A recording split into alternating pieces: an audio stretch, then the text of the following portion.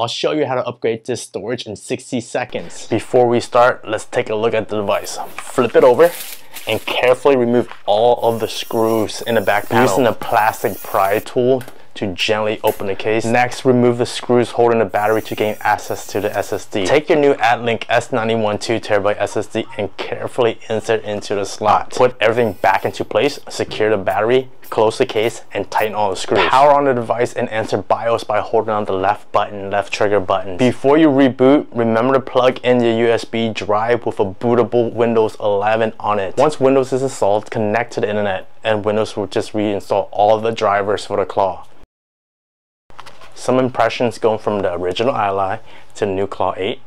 Battery is so much better. I don't enjoy MSI M sensor on this at all. And the last thing is, is it worth it? Yeah, if you have money. And that's my 60 seconds right there. Thanks for watching. I'll see you guys later.